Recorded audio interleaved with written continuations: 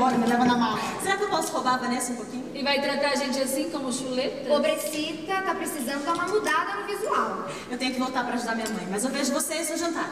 Não posso, tenho que arrumar tudo isso. Amanhã essa porta se fecha pra sempre. Tá bom. Dez minutos.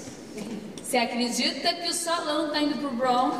Saindo del bar e indo pra perifa. Ah, eles vêm subindo aluguel, o que, que eu posso fazer? Poxa, mas quem é que vai destruir as minhas mechas agora, hein? Ingrata, eu destruo as suas mechas, mas eu dou desconto. E se você for me visitar no Bronx, eu faço a sua sobrancelha de graça. Só você mexe nas minhas. Dá pra ver.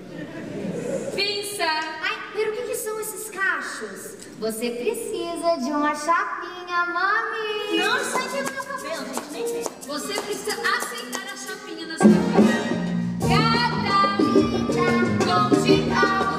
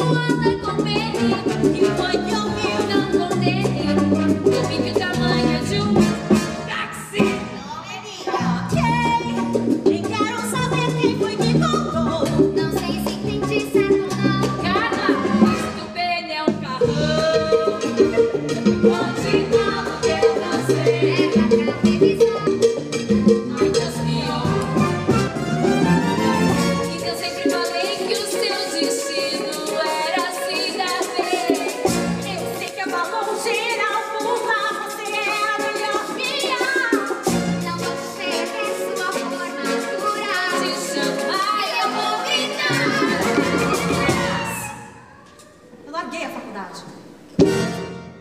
Não, não me diga. Tenho que ir. Que babado. Ela nunca foi de desistir.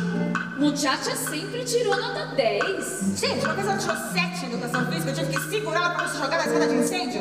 É, vai ver, ela não aguentou pressão, né? E a tampa explodiu. Mas por quê? Diabo que aconteceu? Eu não sei.